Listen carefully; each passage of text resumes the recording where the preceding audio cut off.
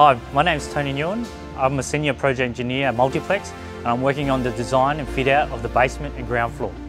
Um, currently we're standing in the baggage reclaim on ground floor of the main terminal. At the moment we're looking at doing all the floor finishes, the ceiling works, um, so all the designs basically done and obviously doing the finishes on site. I've been on this project for almost three years now, starting off with the structure. So when it was a big hole, um, and then obviously putting the structure in and doing all the fit out. Growing up in Western Sydney, just locally here in Liverpool, I think this airport's going to be massive, creating lots of jobs, a lot of uh, developments, um, and yeah, it will just help out the community in a big, big way. I think it's important for Western Sydney to have such a big airport because if you can look around, most of the workers of the whole of Sydney are from Western Sydney. So our whole lives we've been spending our times going to the city, developing the main city. It's about time we spend it locally and creating something for ourselves.